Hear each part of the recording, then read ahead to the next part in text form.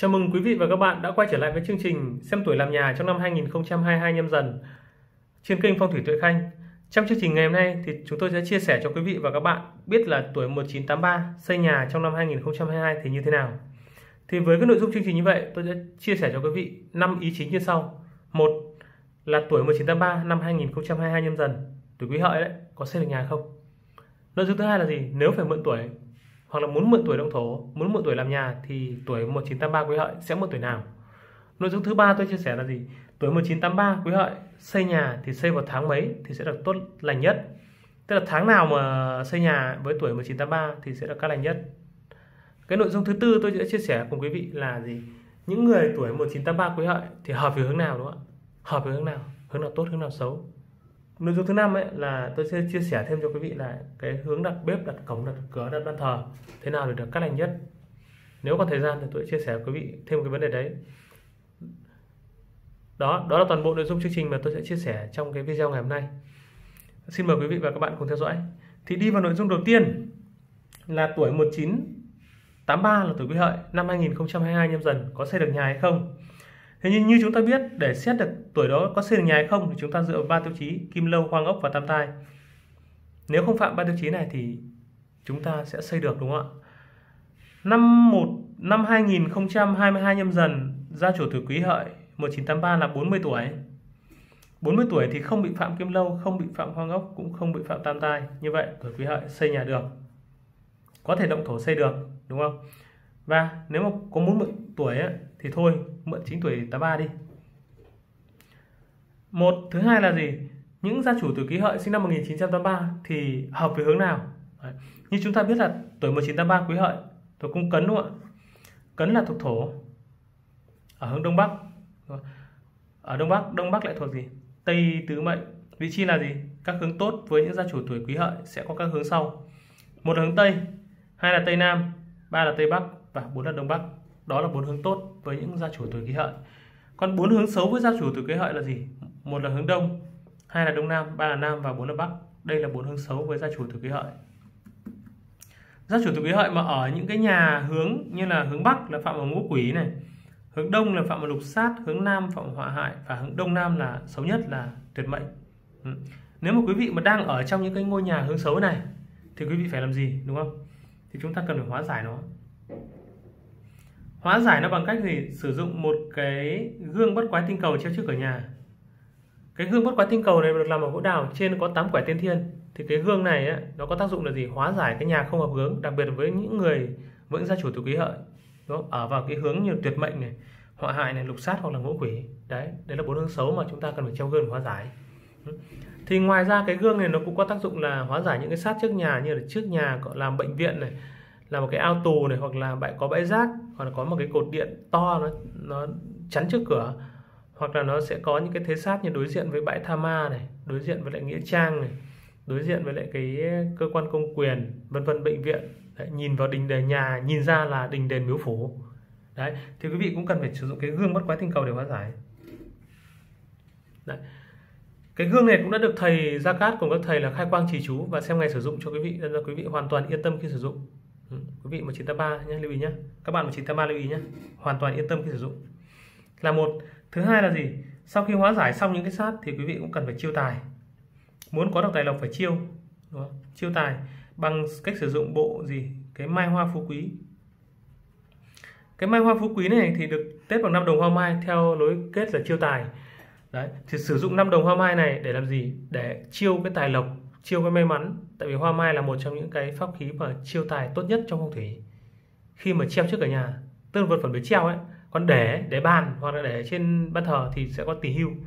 Còn khi mà treo thì tốt nhất vẫn là hoa mai. Đấy, thì quý vị treo trước ở nhà là vừa đẹp lại vừa thể có tác dụng là chiêu tài. Đấy. Thì hoa mai và gương ở phong thủy độc tài thì đều được các thầy khai quang trì chú và xem ngày sử dụng. Khi mà quý vị à, nhận được vật phẩm thì cũng sẽ được nhận được hướng dẫn sử dụng đúng không kèm theo là cái à, hướng, nhận được hướng dẫn sử dụng, kèm theo là những cái ngày sử dụng và các các nghi thức làm thế nào để cho được tốt lành nhất. Đấy, thì quý vị hoàn toàn yên tâm khi sử dụng phong, vật phẩm của phong thủy độc tài. Cái tiếp theo là gì? Những người sinh năm 1983 quý hợi mà muốn xây nhà mới, muốn xây mới nhá, đây là đang ở. Quý vị muốn xây mới thì làm thế nào? Đúng không? muốn xây mới dù tốt hay xấu thì các bạn cũng cần phải chấn trạch chấn trạch để giúp cho trạch đất được hưng vượng. Mà tốt nhất ấy, trong cái phong thủy đúng không chúng ta cần phải làm trước. Cái gì chúng ta phải làm trước để cho nó được gì? Được may mắn được bình an. Và để tránh được những lỗi xảy ra sau này.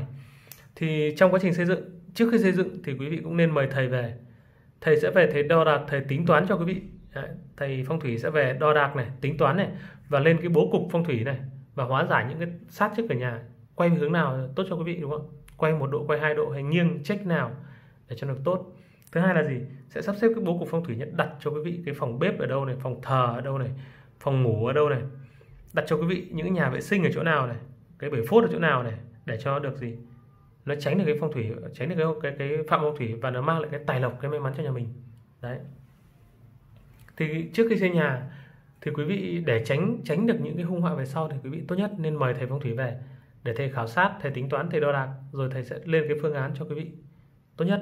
Đấy đấy là cái cái chương trình cái cái cái ờ, nội dung về gì về gia chủ 83 là hợp tuổi hợp hướng nào hợp tuổi nào còn dù ở hướng tốt hay hướng xấu thì quý vị cũng muốn có được tài lộc đúng không? nếu mà quý, trong trường hợp mà quý vị mà ở trong ngôi nhà mà luôn cảm thấy bất an luôn cảm thấy là tài lộc của mình nó kém tài vận mình nó kém luôn cảm thấy là cái công danh sự nghiệp nó cứ bị bấp bênh Đấy.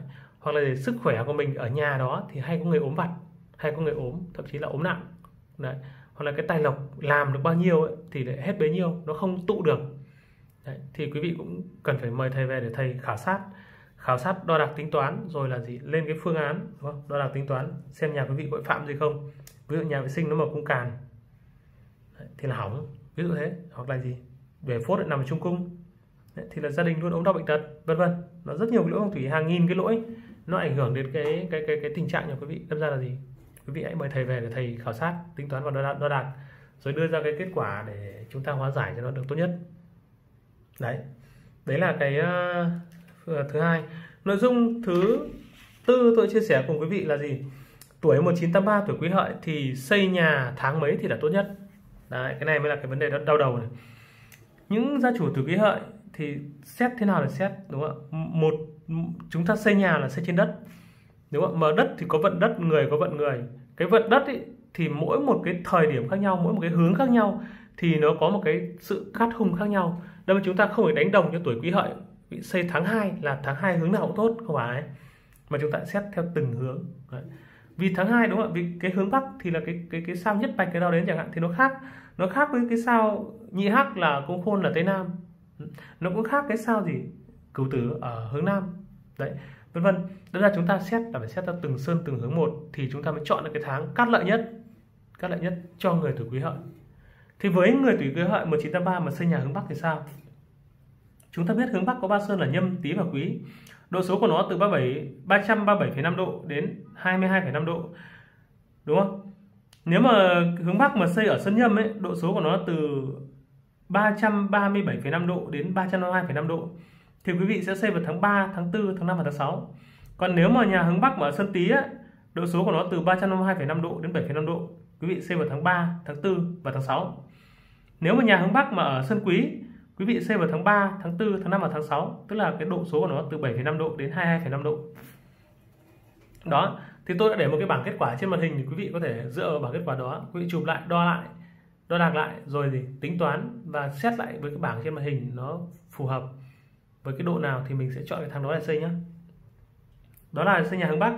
Hướng thứ hai ta xét đến là hướng đông bắc. Đông bắc thì có ba sơn xỉu cấn và dần. Độ số của nó từ 22,5 độ đến 67,5 độ. Và với những nhà mà quý vị đo tọa độ nó rơi vào từ 22,5 độ đến 52,5 độ thì quý vị xây vào tháng 4, tháng 5, tháng 6 và tháng 11 còn nếu mà quý vị đo từ 52,5 độ đến 67,5 độ đây 52,5 độ 67,5 độ nó rơi vào sân dần. Sơn dần thì hướng là hướng thái tuế, tọa thì phạm mộ kỷ đô thiên. Đâm ra chúng ta không xây mới. Bất kể bạn tuổi gì nhá. Đó là hướng đông bắc. Hướng thứ ba ta xét là hướng đông. Hướng đông thì sẽ có ba sơn là giáp, mão và ất. Độ số của nó từ 67,5 độ đến 112,5 độ. Đấy. Thì trong năm 2022 nhâm dần nếu mà quý vị đo nhà mình trong giải độ từ một từ 67,5 độ đến 112,5 độ thì quý vị sẽ chọn xây vào tháng 3, tháng 6 và tháng 12. Hướng tiếp theo ta xét hướng thứ tư là hướng đông nam. Đông Nam sẽ có ba sơn là Thìn, Tốn và Tỵ. Nó có độ số từ 112,5 độ đến 157,5 độ.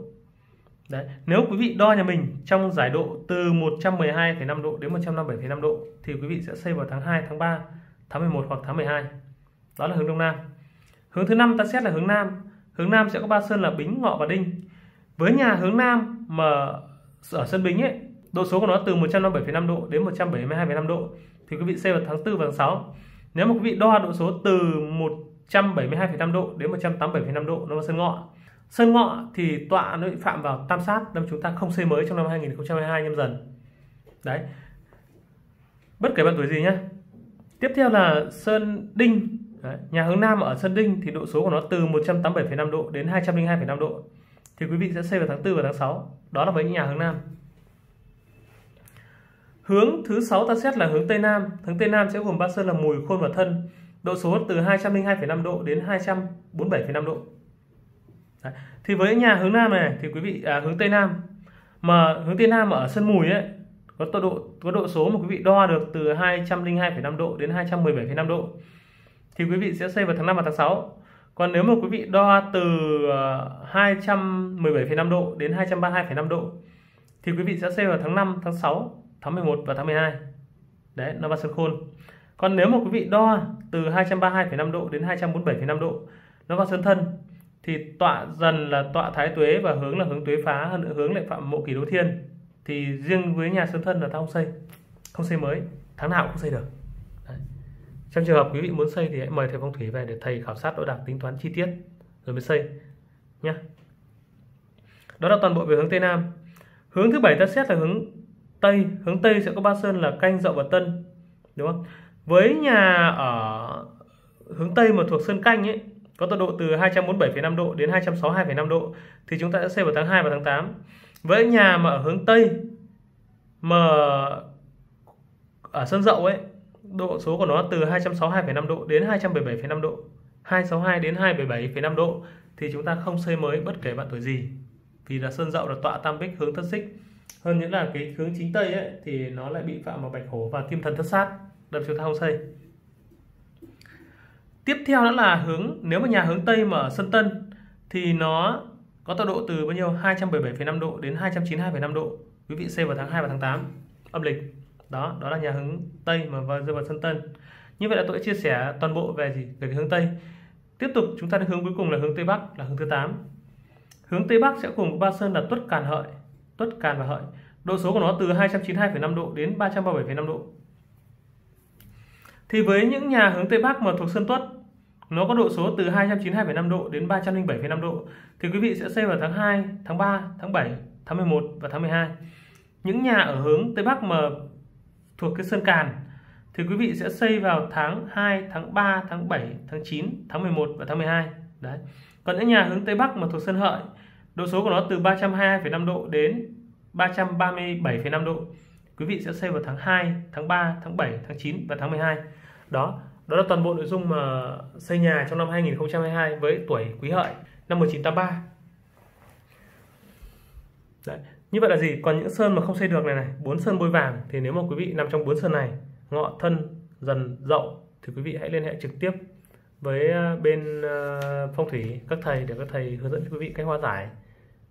Trên đây là những chia sẻ của tôi về những cái người 1983 quý hợi, xây nhà trong năm 2022 nhâm dần để có tốt không? Cảm ơn quý vị và các bạn đã quan tâm theo dõi. Quý vị và các bạn đừng quên đăng ký kênh và nhấn vào chuông thông báo để nhận những video mới nhất từ chương trình. Còn bây giờ thì xin cảm ơn và hẹn gặp lại quý vị ở những video tiếp theo.